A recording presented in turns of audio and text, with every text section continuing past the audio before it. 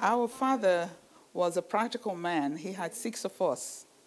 And uh, after the war, he called us together and showed us the ruins of the Biafran War, the Nigerian Biafran War, and told us that science was the answer. Yeah, he told us that clearly. So we pursued different aspects of science.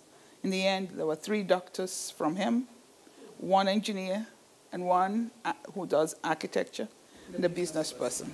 Oh, wow. That's, that's a good one. I'm sure they were, they, they, they were very proud before they left Mother Earth. They were really proud of you. They were grateful and proud, yes. Anyway, I still want to go. You have pursued science in a very extraordinary way for me.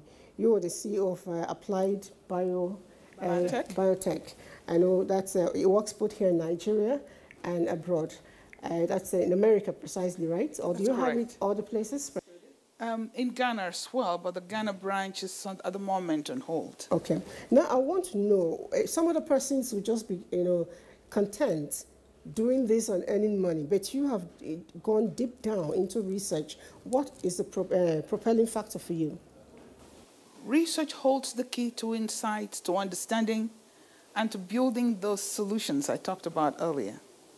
So research helps us to hone and practicalize the theories that are taught. So the companies I founded, the non-profit and for-profit, Applied Biotech Nigeria was the first biotech company in Nigeria, founded in 2006. Then Applied Biotech USA, soon after that, and the Ghana one also, but that's just crawling up.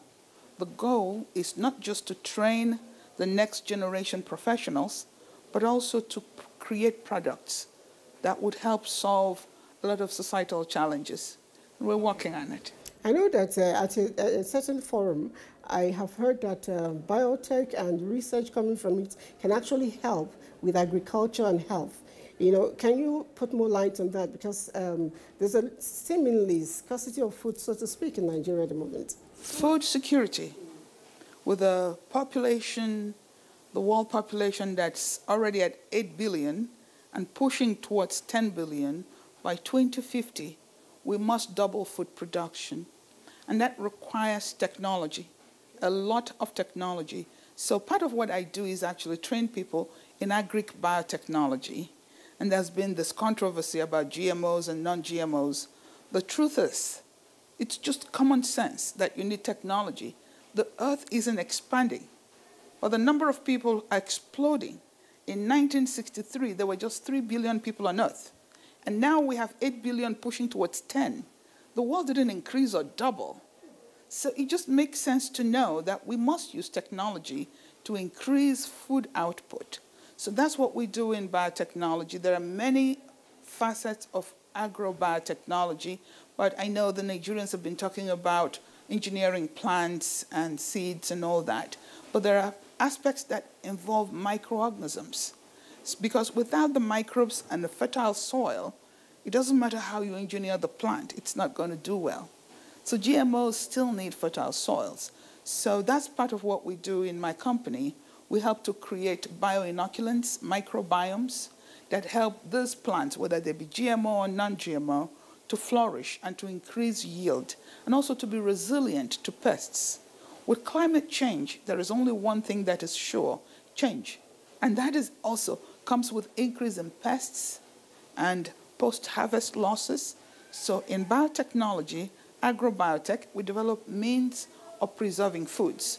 In fact, the very engineering of those crops allows them to be resilient to pests, helps them keep after they are harvested.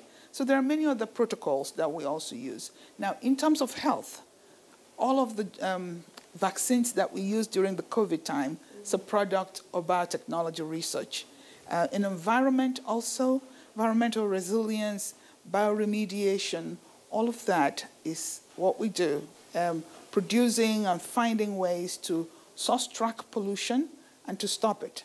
Rapid detection of pathogens is a very strong passion of mine that I pursue both in the university and in my companies. We work on qPCR protocols, developing probes, and PNA protocols. So Many of that we do in the lab to help, because if we can rapidly detect pathogens, then we can control them easily. Definitely. Now, I know